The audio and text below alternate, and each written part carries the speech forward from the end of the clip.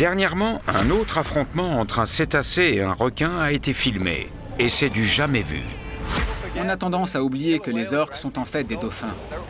Elles appartiennent à la même famille. Elles sont plus grandes que les requins tigres et elles sont plus rusées et intelligentes que les requins blancs. Quand je suis dans l'eau avec un requin, je reste prudent, alors qu'avec une orque, je fais moins le malin.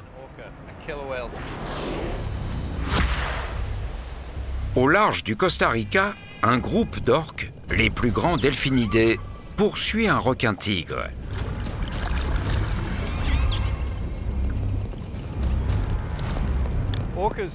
Les orques sont des animaux très intelligents qui chassent en bande pour capturer leur proie.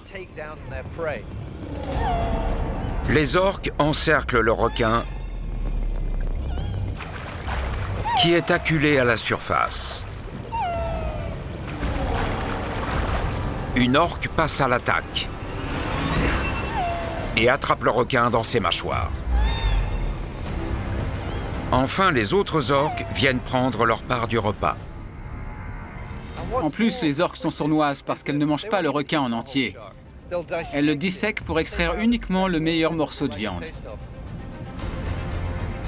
Si on fait s'affronter un requin et une orque, ou un requin et plusieurs orques, le requin n'a presque aucune chance de s'en sortir. C'est une victoire pour les dauphins.